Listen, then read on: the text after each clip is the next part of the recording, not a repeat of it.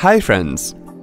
Are you unable to open Internet Explorer 8, 9, or 10 versions on your computer? Let's go ahead and see how you can troubleshoot the issue. Click Start and then in the Start search box, type regedit.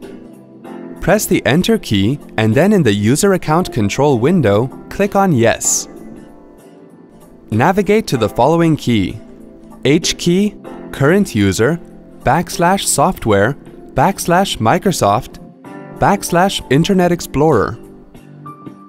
Now you need to give full permission to Internet Explorer. To do so, right-click on Internet Explorer and then click on Permissions. Select the Allow checkbox next to Full Control and then click on OK. Close the Registry Editor window.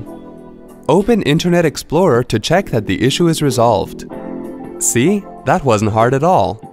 Thanks for watching.